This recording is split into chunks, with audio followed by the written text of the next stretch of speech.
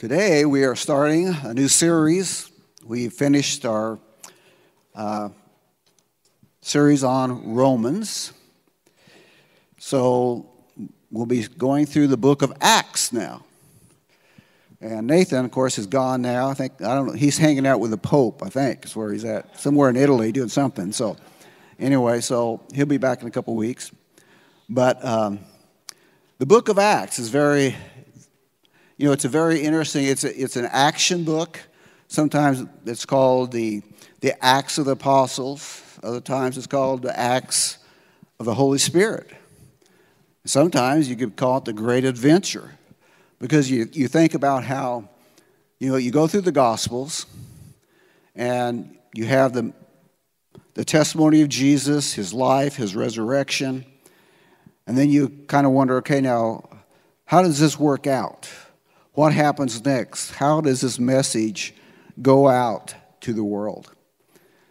And it's interesting, it, it was written by the physician Luke. And he's about the only Gentile writing in our Bible. And he's writing to a guy by the name of Theophilus, who is another Greek name, and actually his name means God lover.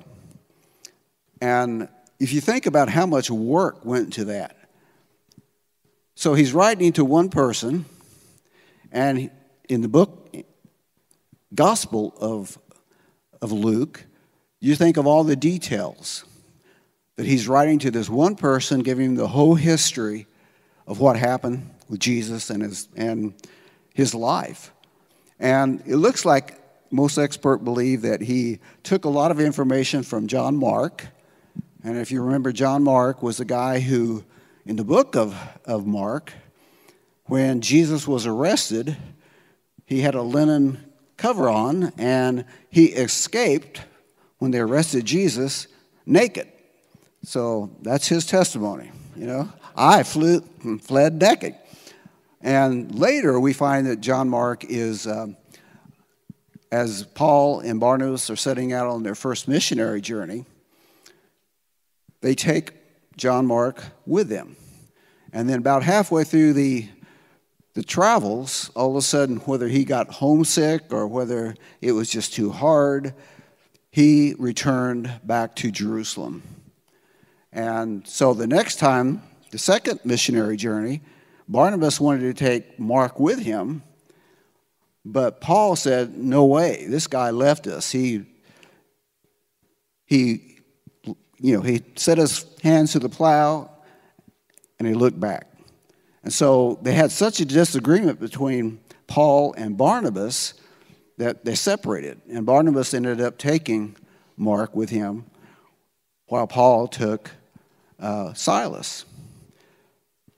But at the end, as you get to like Timothy, you find out that Paul is saying, hey, bring Mark. He's very useful for me in the service of the Lord.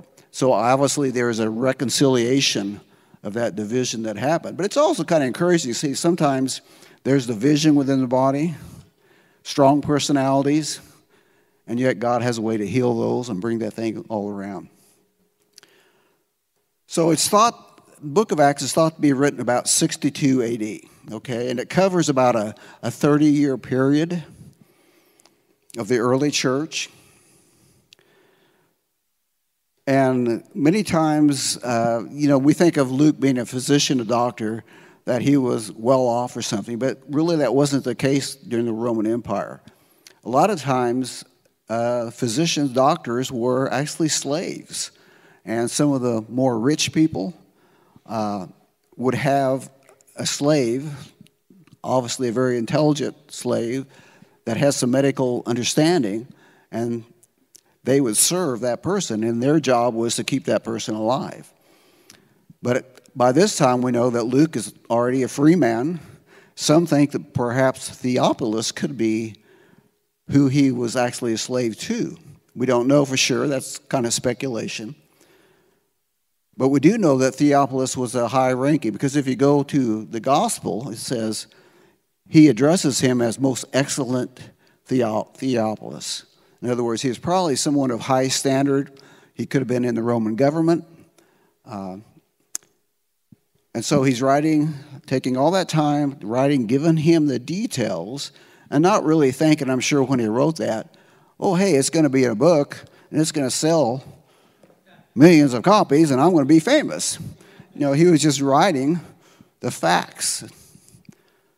So, and I'm sometimes, you know, you, you think of the book of Acts, and I think of it kind of as a blueprint for the church. What is the church supposed to look like? And it's also, to me, very convicting because I think, okay, this is what the New Testament church looked like, and this is what we look like. You know, in many areas, we are falling short. You know, when I think of how, how evangelistic those guys were who went out, went out to people who never heard the name of Jesus, and how fast the church growth happened, and the signs and wonders that follow their ministry. So it, it's also convicting to compare the modern church to the, to the book of Acts. So let's start with verse 1. I'm just going to kind of go through verse by verse. Verse 1, he says, In my former book, Theophilus, I wrote about all that Jesus began to do and to teach. I want you to think of that little phrase there to do and to teach. I think of a couple different things there. I think about, you know, the saying that we always say, practice what you preach. Jesus lived it. He didn't only taught, but he lived it. And number two was that Jesus had signs and wonders, healings, miracles that followed his ministry, which we are, while pursuing that, we are definitely short compared to the book of Acts.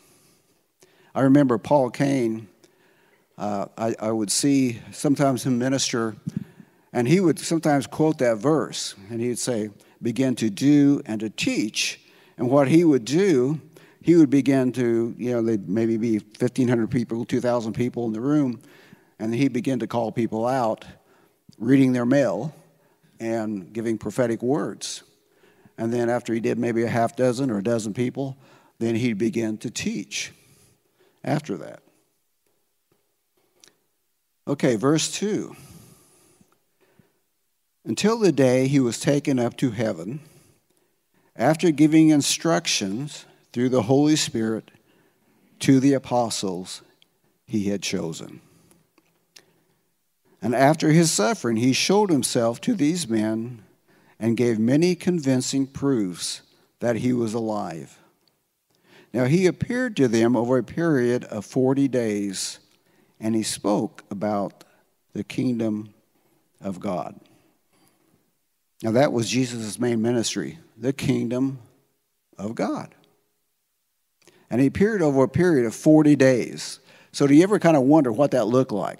I mean, he would just kind of pop up in a room, and then he'd be, then he'd be gone. Then it, we don't know how long between his appearances. But he was showing up over a period of 40 days, teaching them because they needed a lot more instruction. Because remember when, when Jesus kept telling them, hey, I'm, I'm going to be arrested, I'm going to be crucified, I'm going to write, and, and, you know, like Peter goes, that will never happen to you, Lord. You know, and Jesus has to go, get behind me, Satan. I mean, they had a, a, a whole different paradigm shift they had to go through and to realize this wasn't about Israel, this was about the world. Also, the 40 days, think about this. There's 50 days between the Passover and Pentecost. Okay? So they appeared to him over a period of 40 days. Then he was in the grave three days or partial three days. Depends how you want to count it. So you have about a week, seven, eight days before the day of Pentecost came. And so he's teaching them, he's showing up his proofs. But in 1 Corinthians 15, verse 6 and 7, I want to, I'll just read that to you. He said, Then he appeared to more than 500 brothers at one time, most who are still alive, and some have fallen asleep. That doesn't mean they were taking a nap. That means a, a euphemism for they died. Okay? So there's over 500 people, other people, who saw him all at one time.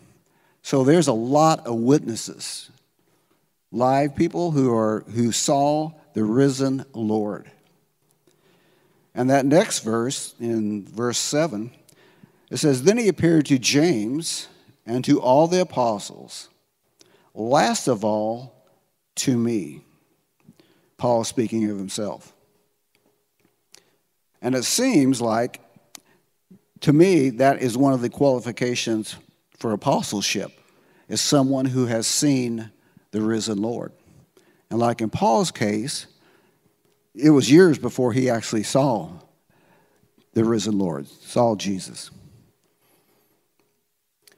And if you also remember that James and his brothers really did not believe that Jesus was who he said he was until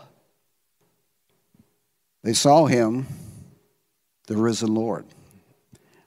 And that would have a tendency to kind of change your mind, right? See someone, and you, and you can, you know, give them grace because can you imagine growing up with Jesus? What that would be like. Talk about sibling rivalry and Mary, Jesus hit me. Oh, really? Yeah, I'm sure, you know. I mean, that, that would be a hard road to go. All right, let's look at verse 4 and 5. On one occasion, while he was eating with them, he, he gave them this command Do not leave Jerusalem, but wait for the gift of my Father promised, which you have heard me speak about. For John baptized with water, but in a few days you will be baptized with the Holy Spirit. Now it's interesting because in uh, in John 20, 22, it says that as Jesus is speaking to disciples, and he said, He breathed on them and said to them, Receive the Holy Spirit. So they received the Holy Spirit at that point. But there's a difference. He's talking about something way beyond that, what we call the baptism of the Holy Spirit, that being in, enveloped by the Holy Spirit, empowered by the Holy Spirit. And so he tells them to wait into Jerusalem until they receive that. So, verse 6, their response is So when they met together, they asked him, Lord, are you, you at this time going to restore the kingdom to Israel? So, so often, sometimes we we get wrapped up in end times. And for them, it's probably a reasonable question to ask because their thinking, again, was all about Israel and reestablishing the kingdom and throwing off the Roman Empire. And it's like, you know, the Lord is saying, we have bigger fish to fry than that. This is the bigger story. And I think sometimes we get caught up in that a little bit too much also that we need to keep the main thing the main thing. Verse 7 and 8. He said to them, It is not for you to know the times or dates the Father has set by his own authority. But you will receive power when the Holy Spirit comes on you, and you will be my witnesses in Jerusalem and in all of Judea and Samaria and to the ends of the earth. So, in other words, you need to focus on what the mission is, the task that is on at hand. And I always picture that as, you know, if you take a, a rock and you throw it into a pond, and you see that initial splash. That was like the outpouring of the Holy Spirit in Jerusalem. And then you notice that it begins to spread. The ripples go out circular, and it goes to Judea, and then it goes to Samaria, and then it goes to the uttermost parts of the earth. And so that was the plan that the Lord had in mind. So it's in enlarging their vision for what they thought this was all about. This is going to the ends of the earth. This is taking back the things that have been given to Satan. Says, the God of this world. I'm reclaiming the kingdom, I'm re- reclaiming the earth.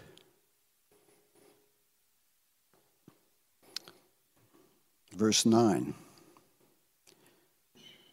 And he said to them, and he said this, after he said this, he was taken up before their very eyes, and a cloud hid them from their sight. Now, this wasn't a, a, round, a, you know, a rain cloud. This was the cloud of glory that came down. And then he's taking up. And I think about, you know, on the Mount of Transfiguration, where Jesus and, and, and Peter, James, and John were on the mountain. And then Elijah and Moses show up and then the disciples are just enthralled that they're there. And then it says a cloud came down. And they fell on their face because it was the glory cloud. And then a voice comes out of the cloud and says, This is my beloved Son. Listen to him. And so I imagine as they were looking, and, and, you know, think about those things in the Old Testament, like when when Solomon was dedicating the temple and the, and the Shekinah glory of God fell, and the priests could not stand to minister. And so I'm sure the disciples sitting there, you know, as they're watching, and their mouths are like, you know,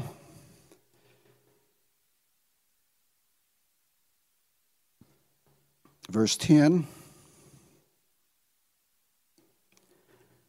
They were looking intently up into the sky as he was going, when suddenly two men dressed in white stood beside them. Men of Galilee, they said, why do you stand here looking into the sky? This same Jesus who has been taken from you into heaven will come back in the same way you have seen him go into heaven.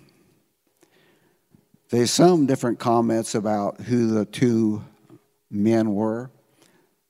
You know, sometimes some scholars think it was just two angels. Some others think it was Moses and Elijah. We can't really say, except that there were two men, and basically saying, okay, quit looking and get to work, basically. And this same one who you saw him go in glory in a cloud, he is coming back in the flesh in glory to save a broken and dark world. Verses 12 through 14. Then they returned to Jerusalem from the hill called the Mount of Olives a Sabbath day walk from the city. Now, when they arrived, they went upstairs to the room where they were staying. Those present were Peter, John, James, and Andrew, Philip, Thomas, Bartholomew, and Matthew, James, the son of Alphaeus, and Simon the Zealot, and Judas, the son of James. They all joined together constantly in prayer, along with the women the, and Mary, the mother of Jesus, and with his brothers. Now it's interesting that this is the last time that Mary is mentioned in Scripture. Now, our Catholic brothers sometimes, um, actually, some will pray to Mary, or they will uh, say rosaries, while I believe that Mary is to be honored, we don't pray to Mary. And I think of that scripture where, you know, Jesus was in Capernaum and his mother and his brothers came and they said, Hey, your mother and your brothers are outside. And Jesus said, Who's my mothers and brothers? Those who do the will of our Father. So while I think she should be honored, she should not be. Even some have even prayed for forgiveness of sin to Mary. So I think while we want to honor her, we have to keep her in a proper specific. But another thing, and that I said they were constantly in prayer. Constantly in prayer. You know, Steve brought up a point that he wants to start doing some prayer meeting on Wednesday nights during January. And I think it's much needed. But I'm also reminded that we did, what, three or four months worth uh, on, on Wednesday night. Well, Jesse Getz would lead worship, and, and we but we usually have a handful of people. And I've always said that this, the smallest church service is always the prayer meeting.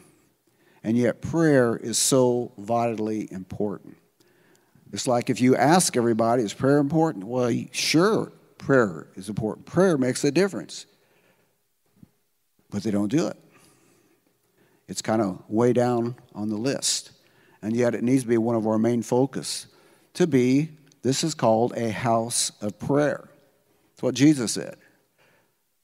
So it's not about a spectator sport, it's about us all involved, all using our gifts, all praying together. They were constantly in that place of prayer.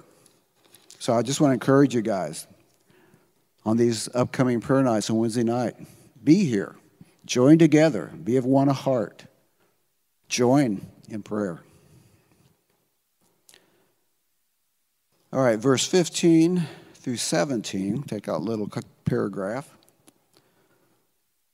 It says, In these days, Peter stood up among the believers, a group numbering about 120. And he said, Brothers, the scriptures had to be fulfilled, which the Holy Spirit spoke long ago through the mouth of David concerning Judas, who served as a guide for those who arrested Jesus and he was the one, and he was one of our numbers and shared in this ministry. So this was a pre planned by God. I always say, you know, what Satan thought was his greatest victory turned into his greatest defeat. In fact, in uh, 1 Corinthians 2 8. Let me turn over there real quick.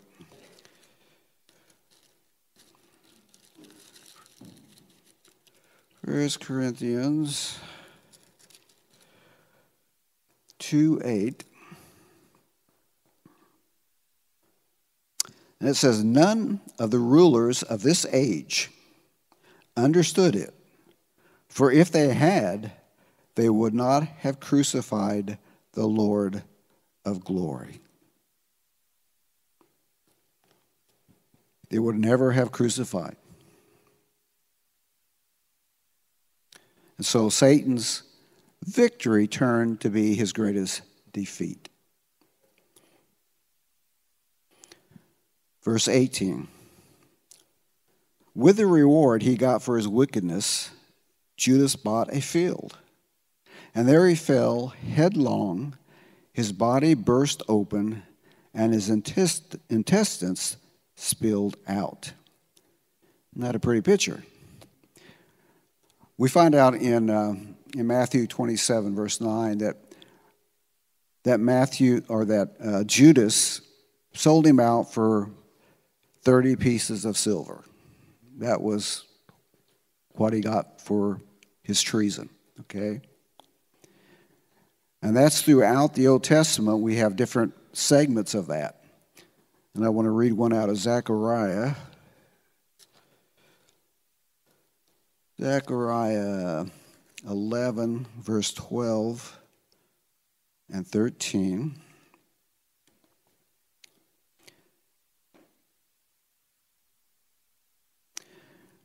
I told them, If you think it's best, give me my pay, but if not, keep it. So they paid me 30 pieces of silver. And the Lord said to me, Throw it to the potter, the handsome price at which they priced me. So I took the 30 pieces of silver and threw them into the house of the Lord to the potter.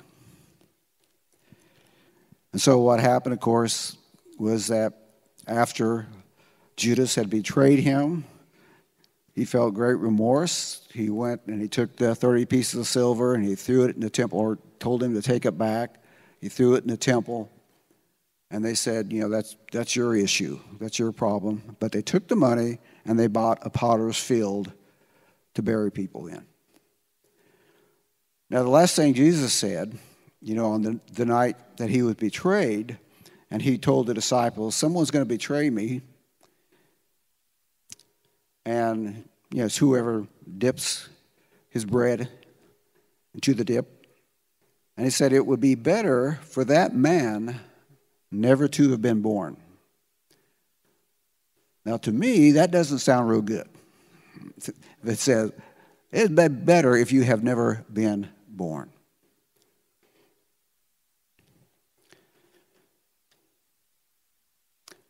verses 19 and 20. Everyone in Jerusalem heard about this. So they called the field in their language, Akeldama, that is a field of blood. For Peter said, or for said Peter, it is written in the book of Psalms, May his place be deserted let there be no one to dwell in it. And may another take his place of leadership. So it's very interesting. Sometimes we think of, of you know, the disciples as illiterate men. But here, Peter pulls up Psalm 69 and Psalms 109 for this occasion. So, what I'm saying is that they knew their scripture. And in many cases, many of them would have it even memorized. All right, 21, 22. Therefore, it is necessary to choose one of the men who have been with us this whole time, that the Lord Jesus went out among us, beginning from John's baptism to the time when Jesus was taken up from us. For one of these must become a witness with us to the resurrection. Now, this couple verses is kind of very uh, controversial because there's many scholars who believe let me just put this idea in your mind was this the holy spirit or was this peter's idea think about that was Peter led by the Holy Spirit? Or was this, you know, how Peter, like on Mount Transfiguration, pops up says, Hey, we'll make a tabernacle for Moses and Elijah and for you. No one was telling him anything about building something. So sometimes he was um, maybe ahead of the Lord. But there are many who believe, probably I'd say more than do not, believe this was Peter being a little presumptuous, that who the 12th disciple was to be was to be Paul. Because, you know, in first uh, or Revelations uh, 21 4, it says, each of the 12 foundation stones has the name of the 12 apostles. We know Judas's name is not on one right? So who would be on that other 12th stone? And it's also interesting that Matthias' name is never mentioned again in Scripture after this point. So, anyway, it's just kind of food for thought because the Lord uses broken vessels. You know, the apostles were great men, but they were humans and they made mistakes. So, that's something you can dwell on and think about, have your own opinion on. Okay, verses 23 through 26. So they proposed two men, Joseph called Barsabbas, also known as Justus, and Matthias. Then they prayed, Lord, you know everyone's heart. Show us which of these two you have chosen to take over the apostles' ministry, which Judas left to go where he belongs. Then they cast lots, and the lot fell to Matthias. So he was added to the 11 apostles. And it's interesting they, that they cast lots.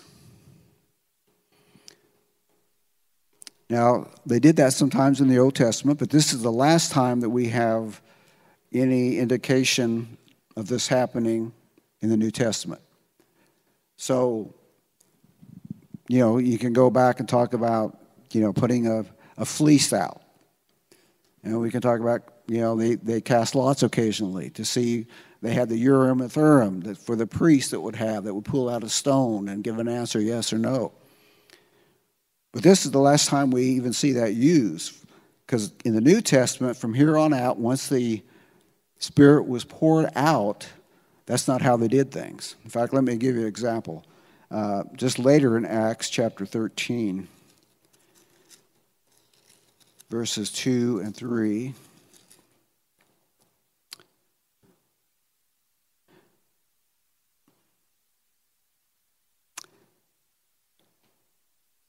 I'll, I'll just start with one. In the church of Antioch, there were prophets and teachers Barnabas, Simon called Niger, Lucius of Cyrene, Manaen, who had been brought up with Herod the Tetrarch, and Saul.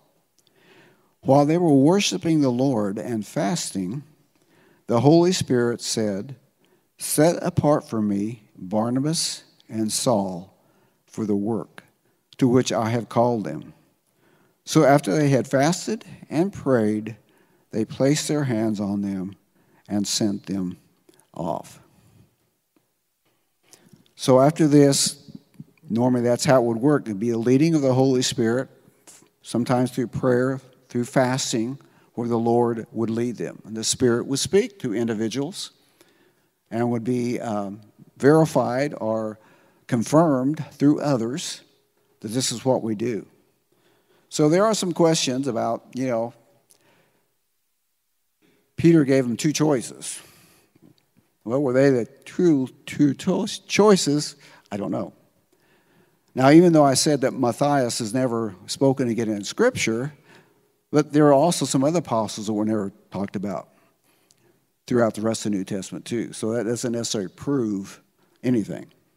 But just, again, food for thought. So we see how during this period of time, the Lord has been resurrected.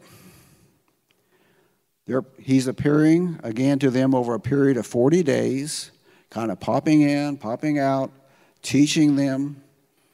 I'm sure they're asking questions. And then he's preparing them for the day that he's going to be leaving. And he's trying to set them up so they'll be prepared for when he's gone to carry on that mission. And a lot of it is to be the witness. And that word martyr is actually the word witness. Doesn't necessarily mean that you have to die. But many of them, in fact, probably all of them except probably one, were martyred. And we have uh, the first one being the Apostle James, who was the first one killed. And then we see a change in leadership because later you have James, the brother, half brother of Jesus, who becomes the, the head of the Jerusalem church.